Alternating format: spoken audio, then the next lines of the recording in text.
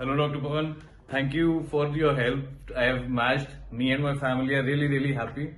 And it was all because of your help and all your best wishes, the support that we had all throughout the time. It couldn't have been done without you. Thank you so much.